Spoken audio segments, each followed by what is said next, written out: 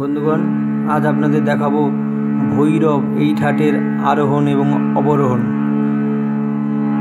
এই ঠাটের যে কোমল সুরগুলো আছে, সেগুলো হচ্ছে কোমল রে আর হচ্ছে কোমল ধা।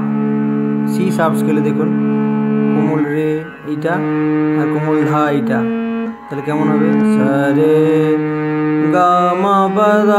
পদা নি সা সা নি দা প ম গা রে সা। আরেকবার দেখাই, সরে গা সরে গা মা পদা নি সা সা নি দা প ম গা রে সা। ধন্যবাদ, খুব মন দিয়ে প্রতিদিন সকালে এটা প্র্যাকটিস করুন। পরবর্তীকালে ঠাটগুলো শিখতে, রাগগুলো শিখতে খুব কাজে দেবে। ধন্যবাদ।